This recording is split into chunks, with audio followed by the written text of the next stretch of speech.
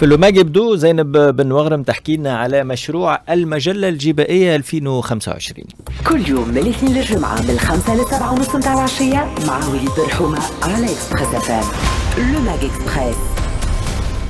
أهم أخبار النجم نحكيو عليه الجمعة هذه بطبيعة الحال هو مشروع قانون المالية لسنة 2025 برشا معلومات تداولت حول أهم أفكار وتوجهات الميزانية عام السنة المشروع يعكس صورة تخوف الدولة تسكرت عليها البيبين الكل وقفت الزنقة بالهرب.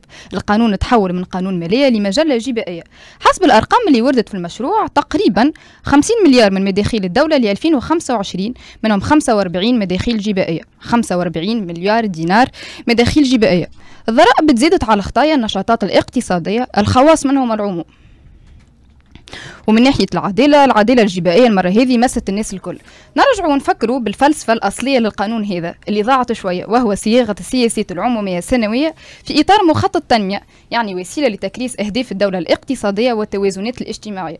بالنسبة لأهداف الدولة المعلن عليها لسنة 2025 دعم القدرة الشرائية والدولة الاجتماعية الإصلاح الجبائي دعم وتمويل المؤسسات وتشجيع الاستثمار دعم الاقتصاد الأخضر والتنمية المستدامة وإدماج الاقتصاد الموازي ومقاومة التهرب الجبائي الحقيقة ما نعرفوش كيفاش باش تدمج الاقتصاد الموازي وتقاوم التهرب الجبائي ولا تدعم القدرة الشرائية من خلال زيادة الضرائب. أما بالنسبة لدعم الاستثمارات مانيش باش نحكي عليها برشا. زوز أرقام تلخص كل شيء. تم توفير 20 مليون دينار لموارد الصندوق الوطني للتشغيل بين تمويل استثمارات وقروض وقروضات للاستغلال للشركات الصغرى والمتوسطة وقروض الشركات الناشئة مقابل 20 مليون دينار نفس المبلغ لدعم الشركات الأهلية. فقط هوني باش نعقب فما تقريبا 800 ألف شركة صغرى ومتوسطة و64 شركة أهلية فقط لحد جوان 2024 ومانيش باش نعلق على الأرقام. إذا نحوصلوا مصاريف الضرائب اللي باش ندفعوها باش تتوزع في ثلاثة حاجات. دفع المصاريف نتاع الشركات الأهلية العصا على البحر دفع ضريبة الفشل الحكومي لسنوات متعاقبة وما نستثنيو منها حتى حد. هي مسؤولية جماعية متراكمة. أما بالنسبة لموارد الاقتراض نحكيو على 6 مليار دينار اقتراض خارجي و22 مليار دينار اقتراض داخلي. في انتظار توضيح مصادرها مبالغ ماهيش صغيرة باش يتحملها القطاع البنكي نتاعنا اليوم هوني كل الخيارات مطروحة. زعما الاقتراض المباشر من البنك المركزي. كل يوم من الاثنين للجمعة من الخمسة للسبعة ونص متاع العشية مع وليد برحومة على Express FM Le Mag Express في بعض الأحيان ننساو كونه قانون المالية سفيان هو أداة تحريك عجلة النمو لدفع الانعاش الاقتصادي آه، لدعم قطاعات معينة.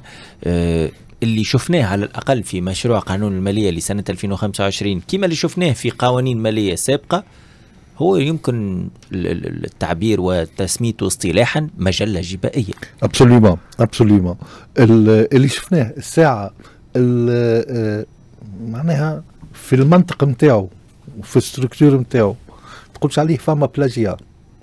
في قانون منقل تقول انت منقل منقل منقل من السنوات الفارطة. وهذا معيب راهو ديما ال plagiat. حاجة مش باهية حاجة مش باهية بالكل. الشيء الثاني هو معناها يبدو أن وزارة المالية تخمم بمنطق عصفور في اليد خير من المياه في فوق الشجرة. فوق الشجرة. سيتادير ما عندنا أحنا أكل أكل الأجراء والشركات والمؤسسات اللي في المنظومة منظمة وكذا. هات نكبشوا فيهم نزيدوا ننزلوا عليهم. وكما قلت أنت في الوافل يعني كنت تربي. ما تقوليش الميكرو انزل انزل عليه مازال يتنفس دونك أيوه. دونك آه، بهذا المنطق عملوا قانون المالية للسنة الجاية. إن آه، ما نعرفش آه، قناعتي أنه نجم يتعدى راهو. بهذه الصيغة؟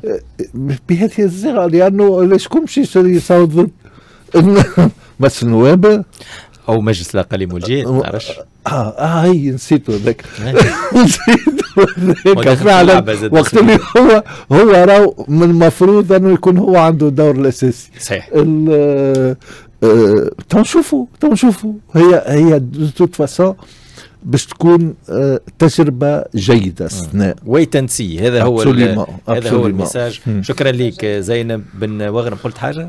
هي عجبتني التجربه الجيده اي تجربه جيده شنو شكرا؟ سفيان زينب الباستي في الاعداد سيرين حتيت في الاخراج ومحمد الاحمر في ال digital وليد برحومه نحييكم تقابلوا غدوه بدايه من نص نهار في لو كلوب ايكو سينو تقابلوا زاده بدايه ان شاء الله من بدايه الأسبوع القادم في نفس التوقيت من الخمسه للسبعه ونص على اكسبريس اف ام في لو ماج اكسبريس bye bye كل يوم من الاثنين للجمعة